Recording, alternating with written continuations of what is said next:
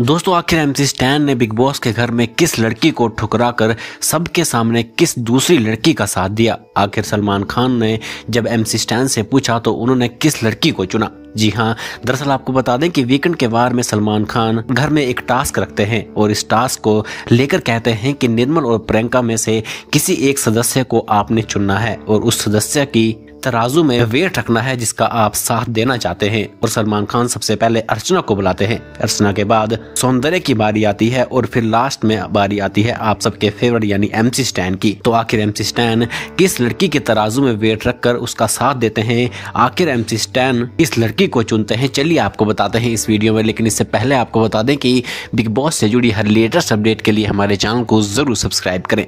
दरअसल दोस्तों, आपको बता दें कि सबसे पहले बारी आती है अर्चना की, और अर्चना निमृत का साथ छोड़कर प्रियंका का साथ देते हुए कहती हैं कि प्रियंका का पलड़ा ज़्यादा भारी है क्योंकि ये हमेशा सच्चाई का साथ देती है। वहीं दूसरे नंबर पर सौंदर्य की बारी आती है। सौंदर्य निमृत का साथ देती है, लेकिन अब बारी आती है एमसी स्टैन की। और एमसी स्टैन, आपको बता दें कि सौंदर्य की तरह निमृत का साथ नहीं देते हैं। एमसी स्टैन प्रियंका का साथ देते हैं। वहीं आपको बता दें कि सौंदर्य और एमसी स्टैन एक काफ़ी अच्छे दोस्त भी हैं। ऐसे में एमसी स्टैन उस सदस्य को, उस लड़की को नहीं चुनते हैं जिस लड़की को सौंदर्य चुनती है। ऐसे में आपको क्या लगता है कि सौंदर्य और एम स्टैंड के बीच कोई दरार आएगी या फिर नहीं? आप हमारे कमेंट बॉक्स में ज़रूर लिखें और बिग बॉस से जुड़ी हर लेटेस्ट अपडेट के लिए हमारे चैनल को ज़रूर सब्सक्राइब करें।